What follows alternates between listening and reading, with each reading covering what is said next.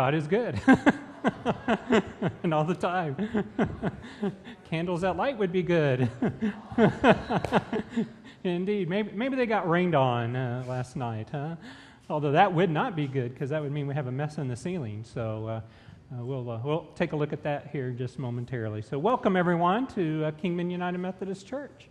So, it's great to see everyone this morning. And if you're here, that means, well, thank you. Yeah, it's been a couple of weeks, hasn't it? So, uh, if you uh, if you're here this morning means that you don't have like big branches or trees uh, on your roof or your porch this morning, right? And so, or, or a trampoline wrapped around a pole at the high school. If you've seen that, uh, drove by that this morning, or seen that on, on Facebook yeah, last night or this morning. So, but it is good to, to be here. And uh, today we conclude our series on the questions that uh, skeptics or that, that pe- people that aren't religion are asking. And, and we're, we're ending it uh, in a very, t- probably in, with a difficult question, which is why is there evil and suffering in the world? And uh, we've been wrestling with this for a long, long time. And uh, I think with any of these questions, it's really hard in 20 minutes to give you a definitive answer. And, uh, and so we, we're, we're, these are really just about beginning conversations. And so uh, last week uh, was a very switch because typically, when Abby and I did this last year, and then this year, we, uh, we got to preach all of those sermons in our own church first. So, what you got last week was the rough draft. And what I got last week, or what I did there, was at the rough draft. So, so you get a more polished uh, sermon today, perhaps.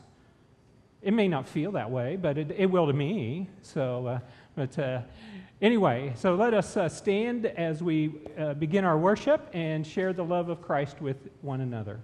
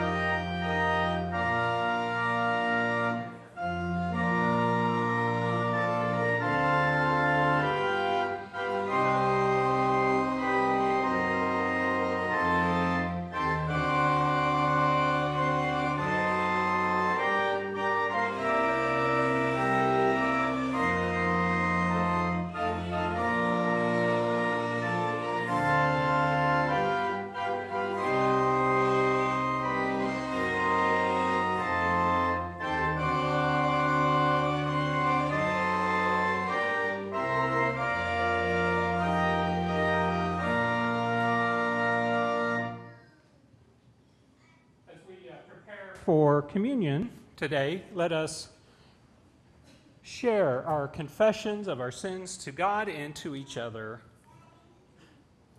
which apparently it is in your hymnal on page 12. If we want to just do that, Daryl's got it. So, just a second. So, while Daryl is doing that, my, my initial uh, God is good all the time was to say helping our youth raise money is good all the time. And so there's a, a right, all the time? Okay, good, good.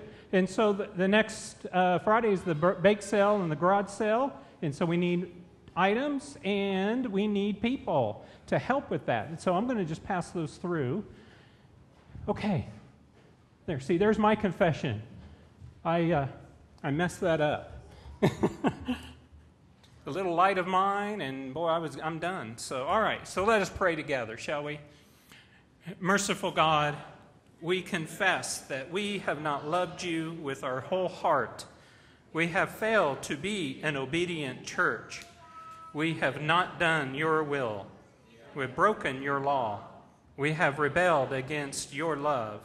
We have not loved our neighbors, and we have not heard the cry of the needy. Forgive us, we pray. Free us for joyful obedience through Jesus Christ our Lord. Amen. Hear the good news that Christ died for us while we were yet sinners. That proves Christ's love toward us. So, in the name of Christ, you are all forgiven. Glory to God. Amen. And I would invite you to be seated as we come to a time of sharing our, as a community of faith, those uh, joys and, and our concerns uh, that, we, that we have this morning. If you have something to, uh, to share, looks like Kevin's working his way up to get the microphone. And you can just raise your hand and he will uh, bring that to you. If there's just a, a personal concern, then you can uh, fill out the orange slips of paper that are in the ends of the pew, place them in the offering a little later on in the service, and uh, they will be lifted up in, in prayer that way.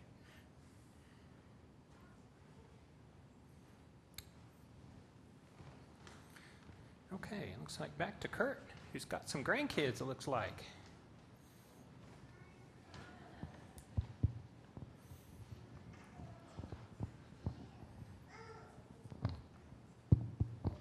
Kurt and Sharon Watkins.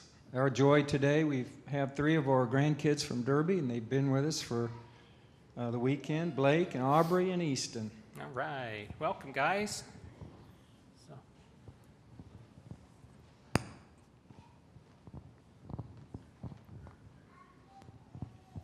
Hi, this is um Soren, my friend.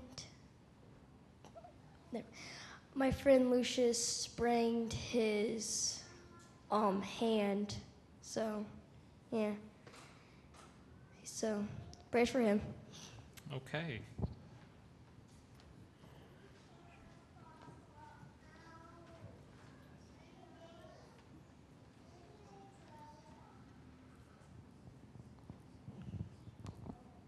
Good morning, Brenda Mark, Larry and Brenda Mark. I have two things to share, and actually, uh, they are they're good and bad. You know, way a lot of things are. Um, I, three weeks ago, my nephew was hit by a car in Baton, La, Baton La Rouge. No, wait, Baton La Rouge, is that a town? Baton La Rouge, Louisiana, yes. I'm thinking that sounds so weird. Anyway, and uh, he was on a mission trip down there for his church. He was hit by a pickup when he was jogging in the morning. And uh, he's 16, going to be a junior. So his arm was severed within his body. He's had several surgeries. He has no use of his arm. But the good thing is, he has great blood flow to his arm. Uh, they finally were able to find a surgeon back in Dallas, Frisco area that will take him on, and he's back home. And um, so that is a miracle in itself because they thought he was going to lose his arm. And for a junior, well, anybody, that would be very tough um, and he's an athlete to boot. Mm. So um, that's my first miracle, but continue to pray for him. His name is Charlie Means. Uh, both parents are teachers. Then, um, all of you have heard me speak of Heather several times with the Hermansky's Pudlak syndrome. She's still on a waiting list for one or two lungs whenever that will happen. She went for a uh, appointment the other day at the hospital to see where she was on the list you know, uh, they put you in order. And her condition has worsened, which is bad, but the good thing is she's closer to the top to get the lungs. So uh, continue to pray for Heather. Mm-hmm. Thank you. Indeed. Thank you, Brenda. Mary Blumenhurst, I'm glad to have my brother Paul Hastings here with me today. Yes, indeed. Welcome, Paul.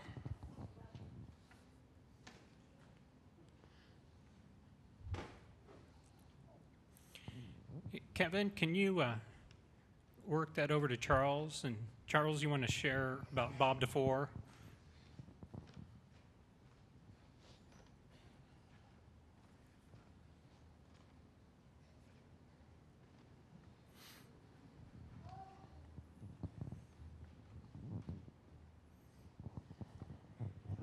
Okay, uh, Bob DeFore, we were kind of concerned about him. Uh, he was living in his house with no air conditioning, and anyway, we got an air conditioner for him, and now he went to, I'm pretty sure he's at the VA hospital for an appointment, and they kept him. He has a blood clot in his leg and he has a blood clot in his lungs. And uh, I've been trying to contact him, and so far I haven't had any luck. I've I've had them dial his room three times, and uh, we've texted him, and I don't know whether they're letting him move or what, but he asked to be on our prayer list, so I wanted to let you know about that. And and aside from that, I just want to thank everybody for the kind words and the cards at the time that my baby sister died, my little sister, youngest sister. I have three sisters. Anyway, uh, we appreciate that a lot. She is greatly missed. Indeed. Thank you. Indeed. Thank you, Charles. Um, a c- couple of uh, other joys that I want to lift up this morning is that uh, uh, Trudy Parker is doing well, got home. Um, so that's Brandy's mom, and so she had surgery up in KC, and um, is, uh, as far as I can tell, when we visited, doing great. Um, the one thing that she wanted to make sure that everybody knew was how much she appreciated her prayer shawl and the warmth of that and uh, this it just made her day and she had it on uh, up until the time they took her back and then uh, brandy's job was to make sure that she got it back yeah yeah shoes you know not a big deal i want my prayer shawl. so um, and then uh, jackie hansen had hip replacement surgery and uh, is back home and so that's uh, continue to pray for her complete healing, but and, and then also the joy that she's home and able to do that. Uh, on Friday was our last summer lunch uh, officially over at the uh, elementary middle school, and uh, I want to I just want to say thank you to Paulette Schlegel and Gail Easley for their daily help. One of the two of them was there every single day to help, and uh, this summer we served more than three thousand lunches and um, and that was a, that's a 15% increase over last year. And and there were kids that said this is the only thing I'm eating today. So it's a good thing, um, and and it's something we should all celebrate that we're a part of. Um, on the concern side. Um, Pat Ramsey is now at St. Francis. Um, she at, at the beginning of the week, they were concerned about leukemia. Uh, that is not the case. Uh, but what has happened is that the breast cancer has now worked its way into her bone marrow. And they're in this situation of she's not healthy enough to get chemo, but the only way to take care of the cancer is through chemo. And so it's which bad choice do you want? And so Pat is a fighter, and she chose to do chemo, even though her numbers uh, were not, uh, not not what you would think uh, anyone could take and tolerate for that. Uh, but she has done surprisingly well. Or I'm sorry, this is Pat Ramsey. Unsurprisingly well, right? And so her numbers are actually above now. Her her blood counts are above where they expected them to be, and uh, and so certainly a long row to hoe here but we'll take whatever good news we can get um, in this situation. And so, continued prayers for, for Pat and Steve and, and their kids and Lois and, and all of those that are that are uh, involved in travel mercies to and from the hospital. So she is exactly where she needs to be right now to get to get better.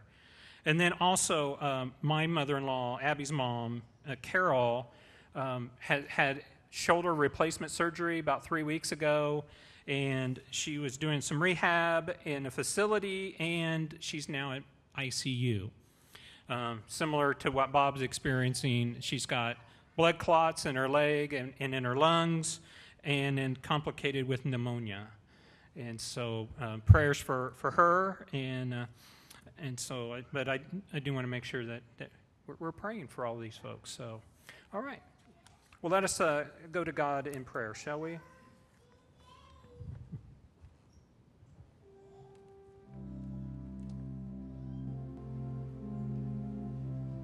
Gracious and, and loving God, we, we're humbled to be here today, uh, to be in a, in a country where we're able to come and to worship, to be open and, and free with our faith, um, to wear such symbols as, as, a, as a necklace with a cross on it uh, is not a death sentence. And with that, God comes uh, responsibility and accountability to live that out, to not just have the symbols of our faith be our faith, um, but for it to ooze out of each and every pore and every moment of our existence. God, we also uh, lift up to you today those that are, are hurting, uh, those that are, are suffering, uh, those that are healing, uh, and those that are convalescing. We give thanks for those that are in healing ministry, from our healthcare providers to our hospitals and their staff, to home health and pharmacists, uh, all who work together to bring about uh, healing and wholeness and health and cure. God, as we uh, flip the calendar to August, too, we're, we're changing our, our, focus to start praying for our schools, uh, for our teachers, for administrators and staff and paras and all of those that are that are, are placed in, in, in, positions to influence and to shape and mold uh, the young minds of this community. So we just ask a blessing upon all of those in, in our classrooms and in our school buildings and upon those that make decisions and policies, that it all be made uh, in the best interest to create a, an environment of, of learning and exploration and curiosity and also faithfulness, faithfulness to the principles uh, found in, in the Bible. So, God, as we uh, as we continue our, our worship, we we come to you knowing that none of us is, is perfect. All of us is seeking ways to to get better today of, of what transpired yesterday and we need uh, your Holy Spirit to, to guide us, to propel us, to infuse us uh, with that wisdom and with the courage and with the strength. So, for all of these prayers of God, as well as the ones that remain on our hearts, those that are written on the slips of paper, we lift them all up to you in a spirit of gratitude and thankfulness and pray as Jesus taught us Our Father, who art in heaven hallowed be thy name. Thy kingdom come, thy will be done, on earth as it is in heaven. Give us this day our daily bread, and forgive us our trespasses, as we forgive those who trespass against us. And lead us not into temptation, but deliver us from evil. For thine is the kingdom, and the power, and the glory forever. Amen. You know, one of the things that uh, as Pat's coming up, one of the things that I, have shared is if I don't write something down, I tend to forget. I did not write this down because I knew I wouldn't forget when I was saying prayers, but I did. And then I thought Mary might say something when she stood up. Jerry Emery is missing. We do not know where she is. Um, two people went to go pick her up this morning for Sunday school. Her house was unlocked. Um, but she is nowhere to be found. So, um, my guess is that she's probably out walking around somewhere in Kingman. Uh, the police are looking for her. And so um, I want to include that in prayer. And so I'm just going to say a prayer um, now, separate from the other prayers, because maybe that's why I'm supposed to do it that way, is that we just need to pray. So let's all pray for Jerry, shall we? God, uh, wherever she is, just watch over Jerry and God, help her to, to get home safe or to get to, to a hospital if, if that's what's needed. God, be with our, our police who are out looking for her this morning. And uh, God, the sooner that we can find her, the better. Um, God, help, if, if there's any way that any of us can be a, a part of that, God, we just, uh, we just call upon your name to shield her and protect her and guide her to safety. Um, for her family, that's, that's if they don't know, we'll know, and, and the worry that comes uh, with that too. God, just provide uh, comfort, and and if Jerry's out there confused, God, get, just just be with her uh, in this time. All of this in Jesus' name we pray. Amen. So.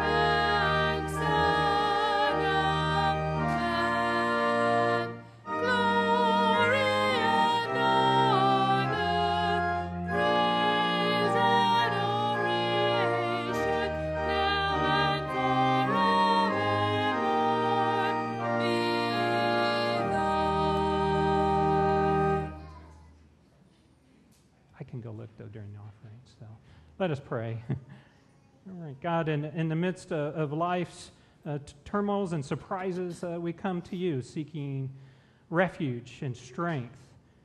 So this morning, as we uh, receive our, our offering, let it be a reminder to us of how all of life is an offering to you.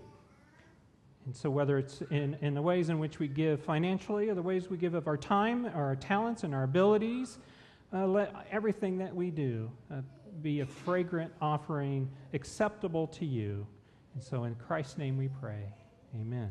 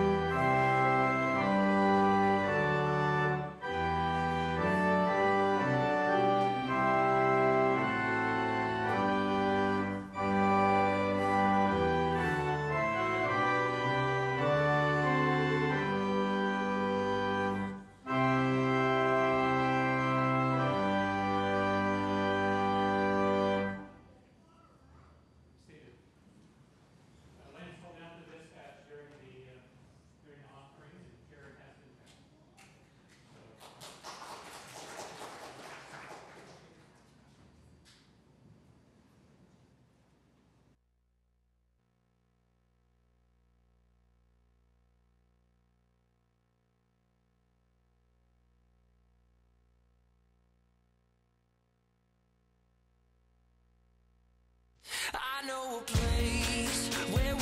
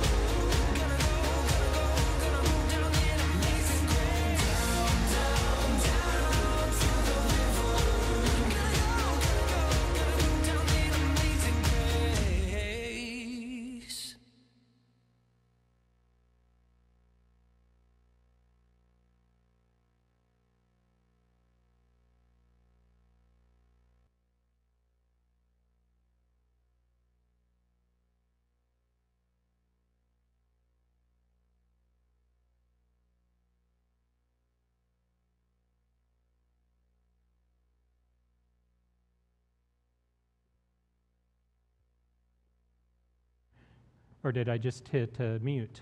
All right. All right. Well, if you want me to hit it again, uh, we'll take up a different offering and we'll see. No. All right. Let's go to the scripture, shall we? Today's, uh, today's gospel reading is uh, the first seven verses from the ninth chapter of, Go- of John's gospel. It says, as, as he walked along, so as Jesus walked along, he saw a man blind from birth. His disciples asked him, Rabbi, who sinned, this man or his parents, that he was born blind? Jesus answered, Neither this man nor his parents sinned. He was born blind so that God's works might be glorified in him. We must work the works of him who sent me while it is day. Night is coming when no one can work. As long as I am in the world, I am the light of the world. When he had said this, he spat on the ground and made mud with the saliva and spread the mud on the man's eyes, saying to him, Go wash in the pool of Siloam, which means sent. Then he went and washed and came back, able to see. The word of God for the people of God on this day. Thanks be to God. Shauna. Yes. Okay. Thank you. Thank you. Thank you. Yeah, amen to that. If only all of our prayers could be answered that quickly and completely, huh? Well, that's part of what today's sermon's all about. So let's pray. God, may the words that I say and the things we all do make our life song sing and bring a smile to you. Amen. You know, turn on the, the TV or pick up a newspaper or get on social media or, or a, a website that, that has the news, and it doesn't take long to find a story about something horrible happening either close or far away. You think uh, uh, of, of, North Korea or, or as close as, uh, as Pat Ramsey or, or Jerry this morning.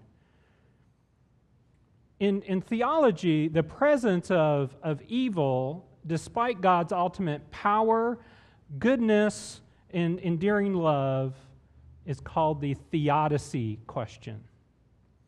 Since Cain and Abel, humans have struggled to understand the causes and the reasons of why bad things happen. And especially, why do bad things happen to good people? Since Augustine of, of Hippo in the fourth century, theological thought has had to compromise one of these divine traits. Right? So, if God is all powerful, well, why would then would God allow evil things to happen? Yet that goes against that God is all loving. So if bad things happen, well, perhaps God is all loving, God's just not all powerful. A, a prevalent dualistic heresy that's been around since the third century is called Maniche- Manichaeanism, which that will never be on anybody's spelling test unless you go to seminary. Manichaeanism is saying that the, that the devil and God are equal. So if you say something to the effect of, well, the devil's in charge of this world and God's in charge of the next, that's Manichaeanism. There, I can't even say it right. Manichaeanism. Right? In fact, that's not really a Christian understanding of the powers of God the Puritans used to say when you know our country was founded on, on, on that, but the Puritans' understanding was that if something good happens to you, look out because something bad is right around the corner. Maybe some of you have heard that one, or, or, or, or maybe.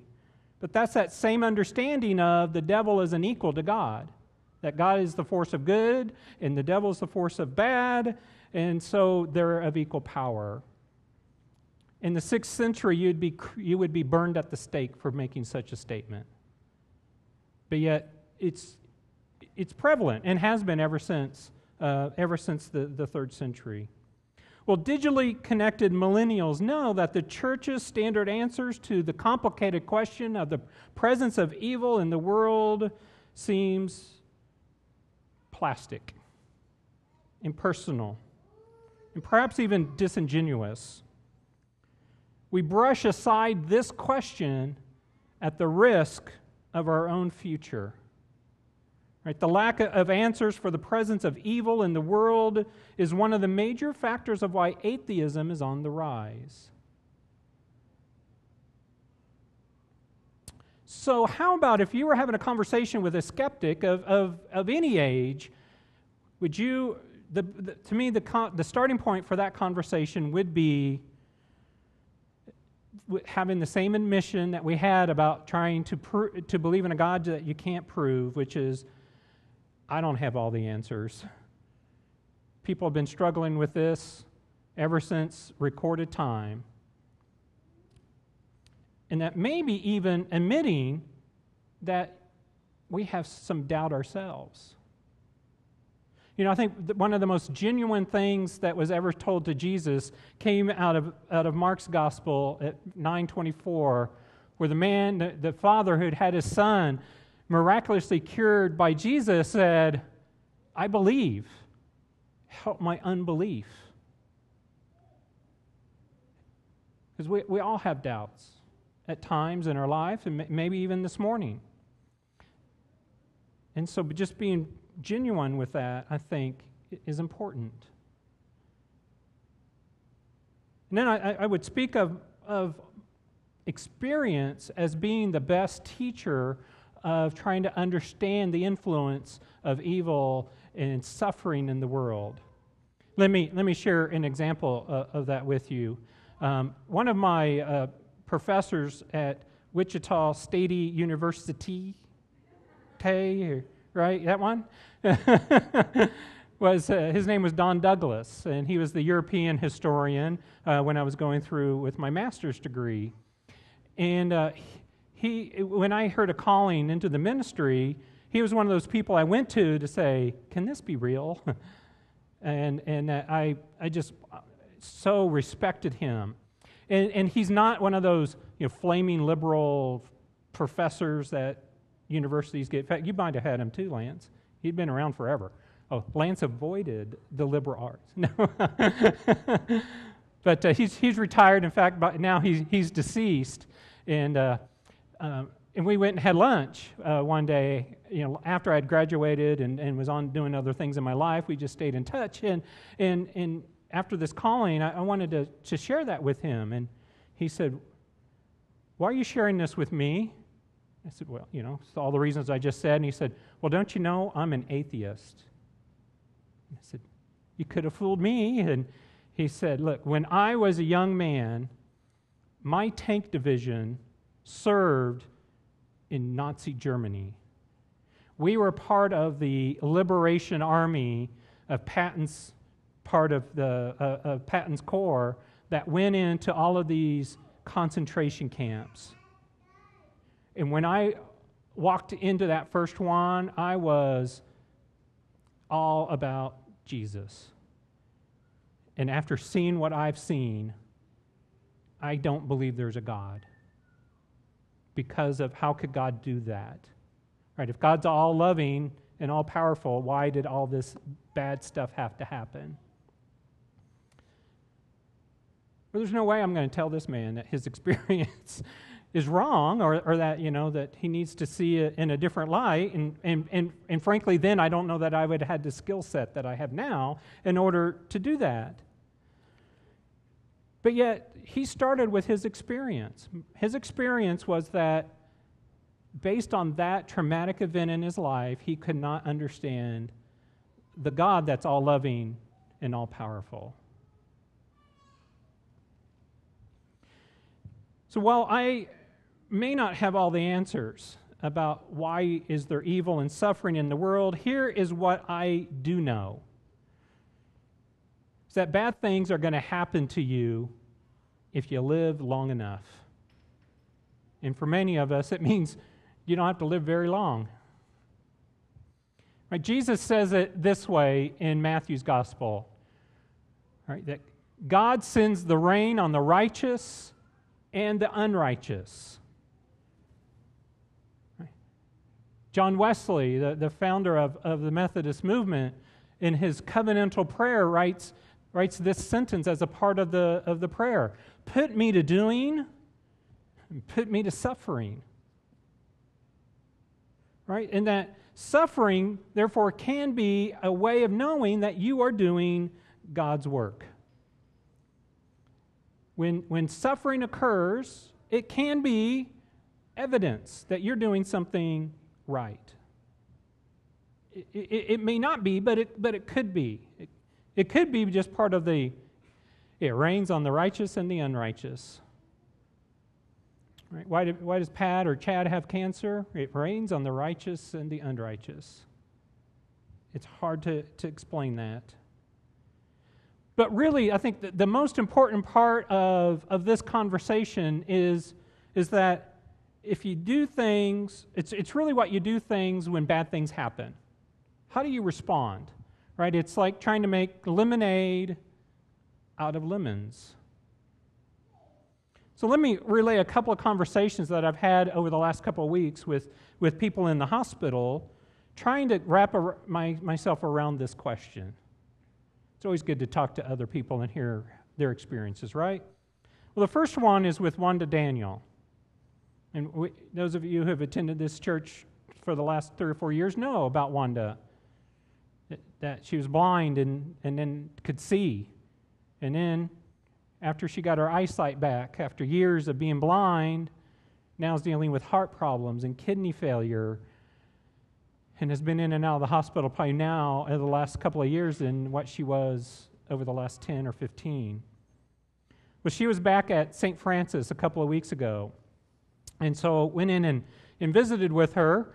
And the first words out of her mouth was, Patrick, God didn't get me this far just to take me now.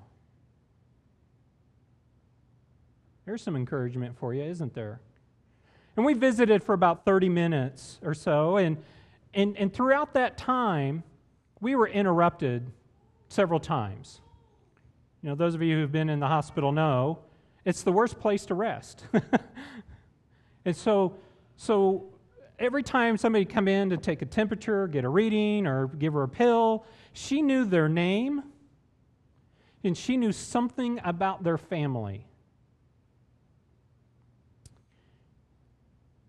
this is 24 hours after the doctors and the people in Marion told her and told Phyllis, get your house in order because we don't think she's going to make it. Uh, that's an amazing thing of what she has under, undergone multiple times. And so I, I asked her, How do you stay so positive with all of the negativity in your health? All that suffering that she goes through. Experiencing heart failure and kidney failure are not pain free things. And she said, It just gives me an opportunity to meet new people and to minister to them. What an amazing outlook, huh? The second one uh, involves uh, Pat and Steve. Was, Steve and I were able to kind of sit down one, one day and, and just visit, just to check in with his, his soul and his spirit and all those things that are going on in, in their lives right now. And, and I said, Steve, how are you how are you looking at things right now? And he said, Everything happens for a reason. I may not know. I may never know. Some things, I love how he said it, some things are way above my pay grade. So he said, I just try to take everything in stride. As a, as a teacher at heart, I can see anything as a learning opportunity. Right? I may not like the lesson I need to learn, and sometimes the hardest lessons to learn right, are the ones you don't want to learn the most. And if you're like me, those are the ones you need to hear. Beyond the, the personal things, many natural disasters actually aren't natural disasters at all. They're only natural disasters because we as human beings have called them that. Forest fires, for example, are, are destructive. yet they're needed for recharging the forest. Floods destroy homes and get water into your basement, but the floods are also what provides valuable nutrients to our soil. So, when I think what Wanda and Steve and in my own explanation are saying is that everything can be a Romans 8:28 moment. Right? For us to know that all things work together for good for those who love God, who are called according to his purposes. But it can't just be a cliche that we say when we don't know what else to say. In the gospel reading, Jesus essentially says the same thing as Paul does in Romans. Right? He, when, when asked the question, why is this person blind? Right? Who sinned? What bad thing caused this action to happen? Jesus says it's not sin at all. Not his sin, not his parents' sin. Which is one of those classic explanations of why does evil exist in the world is, is that it's kind of like it's like God's revenge on us for doing bad. But if God is all loving, God doesn't want revenge. God just wants us back in the fold. Now, Jesus is saying the man was born blind so that God could be glorified. Right? That's not a, a masochistic statement that we, we need to have torture and punishing and, and suffering and those kinds of things just so that God can be glorified, because God can be glorified in anything. But what I think what Jesus is saying here is that, is that God can also use the tragedies, the painful moments, the suffering moments as ways for people to see God at work. Right? He says, he says that God can be glorified in him. And that means through him. And maybe not his actions, the blind man's actions, but it's those that interact with him, their actions. So perhaps when bad things happen to us or to other people that we know, these are ways in which we have an opportunity to worship Christ with our hands and our hearts more than just our words. Just as the gospel calls on us to love our enemies because even the Gentiles love their friends, followers of Jesus are called to see how evil and suffering can be an opportunity to show the real, unconditional, and ever present love of God in Christ. And when I hear this passage of the gospel, I have to think of my niece Katie. Katie, I've shared the, the news with, uh, uh, with you of Katie that Katie is in a wheelchair. She has a form of muscular dystrophy. Her life expectancy was 13. Katie graduated from the University of Toledo from college last May, and this fall is going to seminary. She's not even supposed to be alive. And after she heard this calling, from God as, as any of us do, at least I hopefully, that's one thing you should always ask when you're getting a new pastor. Did you question your calling? Because if they didn't, I don't, I'm not sure I'd want them to be a pastor. but Katie's question was, why me? And not just why me as a pastor, but why me in a wheelchair? She is the most positive person you ever be around. She has a great sense of humor. She, and she's got so many things that she wants to do in the world. And, and anybody who comes in contact with her says, You've changed my life. And she said, But I'm a prisoner to my legs. Why me? And for 20 years, she's 22 now. I mean, for 20 years, she wrestled with God.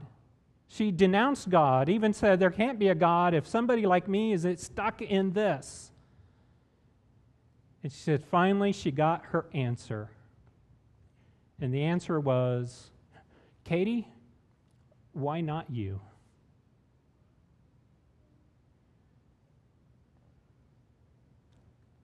Why not you?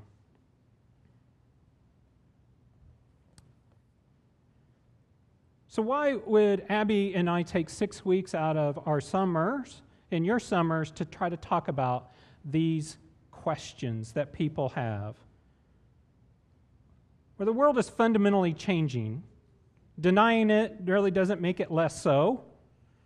And historically, the church has lagged behind in facing the future unafraid, as we say in our funeral services. The church, unwilling to engage in the toughest issues of its day, is one that has little to no faith in the power of the Bible as the living truth. The answers are here.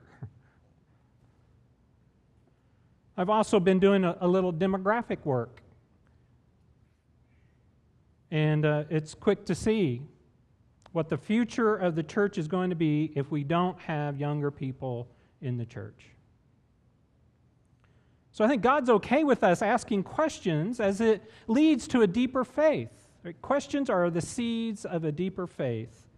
And it provides us opportunities to engage in theological conversations as long as we show mutual love and respect for each other and as equals in God's eyes.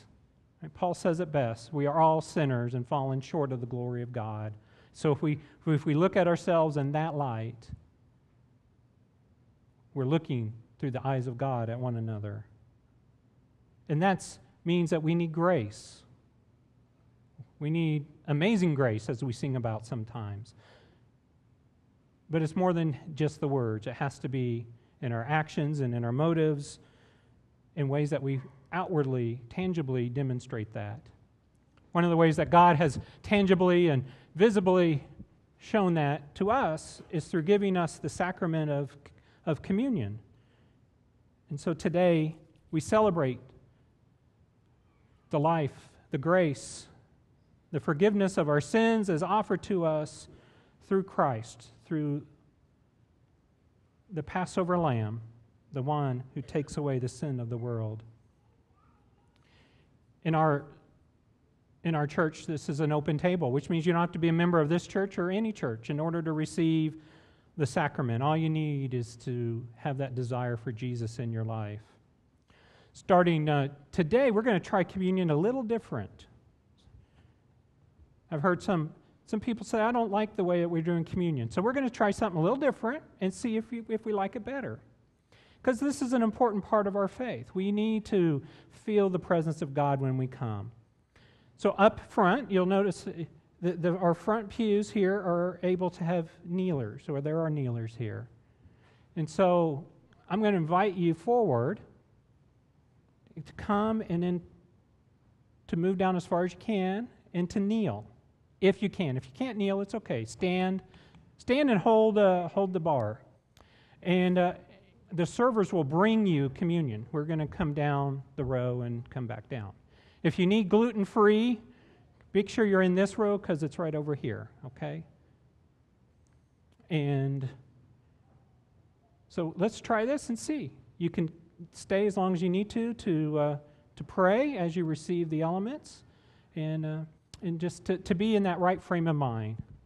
And so we remember that on the night in which he gave himself up for us, he broke the bread and gave it to his disciples, telling them to take and eat. This is my body given for you. Do this in remembrance of me. And when the supper was over, he, he took the cup and gave thanks to God. And gave the cup to all of those around the table and said, Take from this, drink.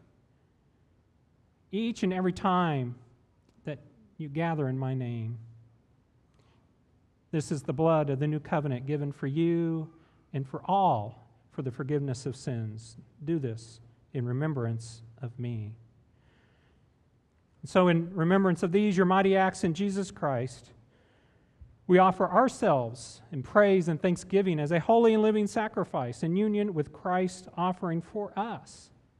And as such, let us proclaim the mystery of faith that Christ has died, Christ is risen, Christ will come again. So pull out your Holy Spirit on all of us gathered here, God, and on these your gifts of grain and grape.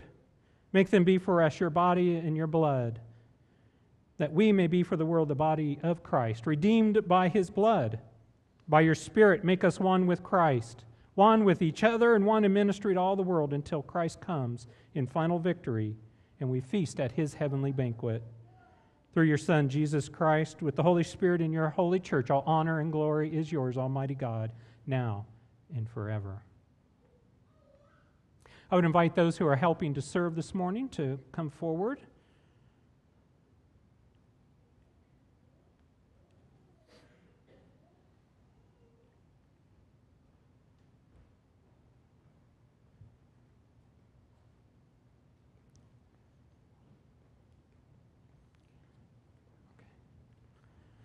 So, as with anything new or trying something different, it, it, it may not, we may have some glitches. And so, uh, the sacrament of grace requires grace. Susie, the body of Christ. Brenda, the body of Christ. Katie, the body of Christ. Brenda, the body of Christ. Susie, the blood of Christ. Brenda, the body, the blood of Christ. Katie, the blood of Christ.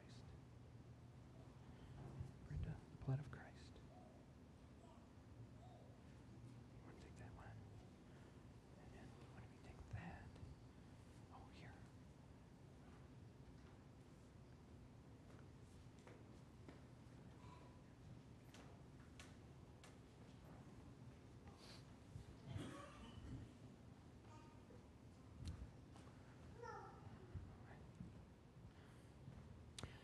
Come and sit at, kneel at the table of the Lord. I'll go for I don't know that it matters. Let's, yeah, let's do that so that.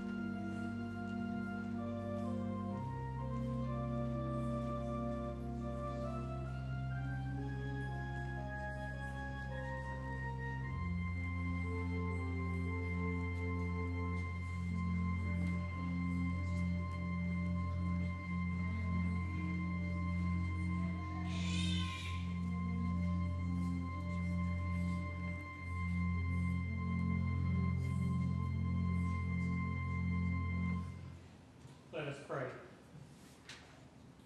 God, we give you thanks for this holy mystery in which you have given yourself to us. So may we who have received it be nourished not only physically, but spiritually and relationally with you and with each other. And may we now, now nourished in your word and, and in your blood, may go forth from here to love and to serve one another as we love you. All of this in Christ's name. Amen.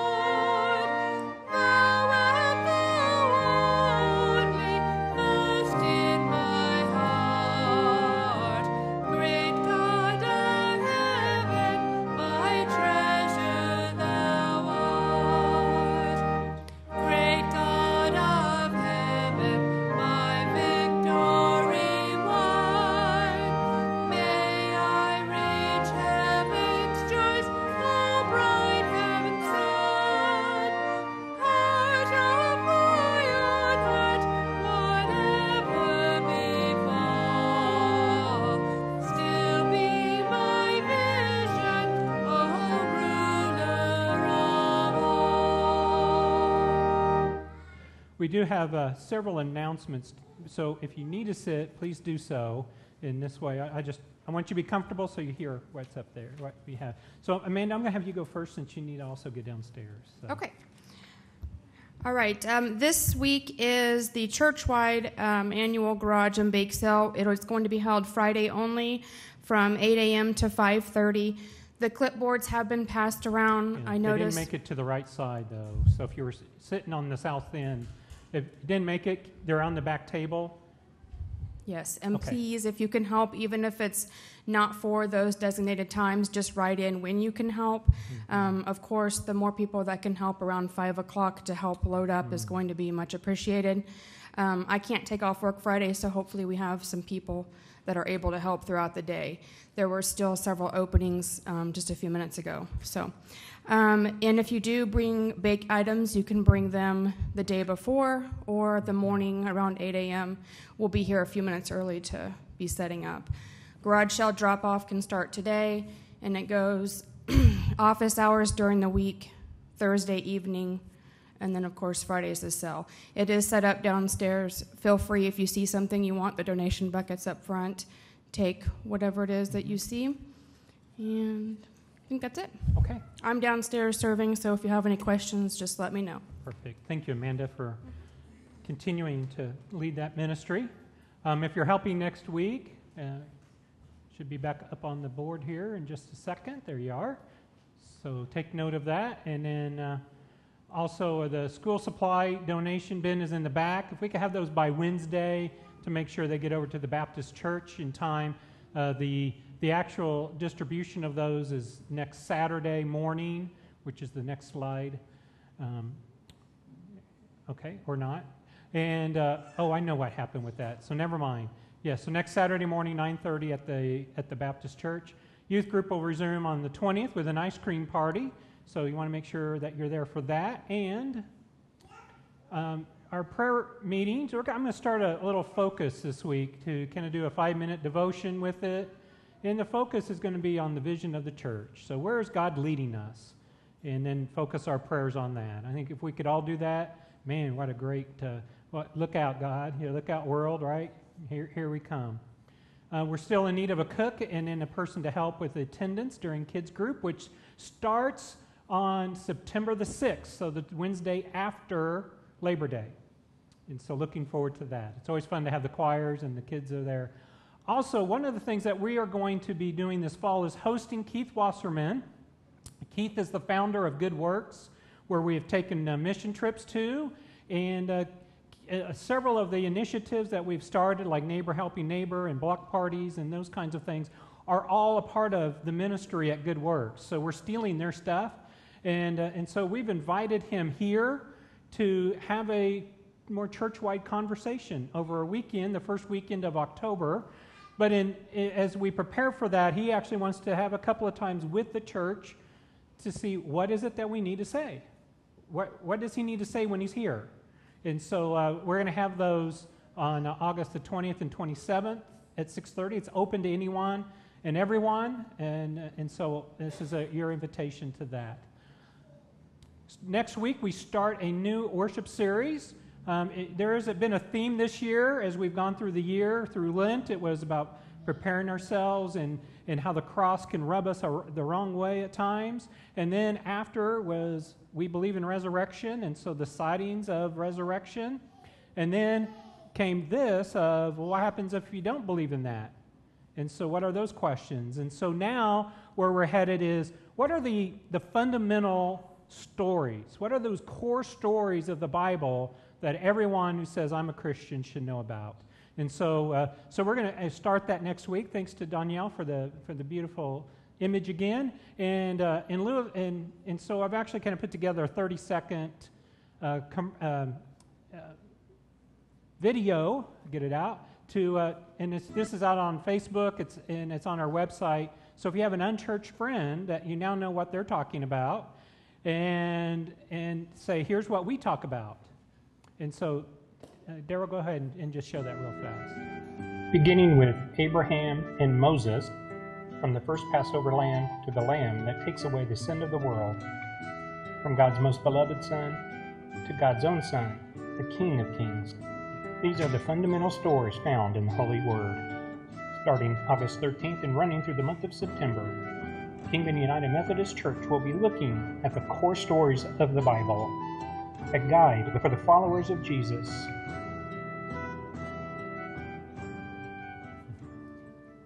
So I'm, excited about that and, and to, to, to remind us of those, of those stories that, that God has for us and what holds us together as Christians, regardless of, of the name on, on, out, on the, out on the board. So let us go from here to either time of fellowship downstairs or, or out into the world to seek out the lost and the lonely, to use every grace that God has given us.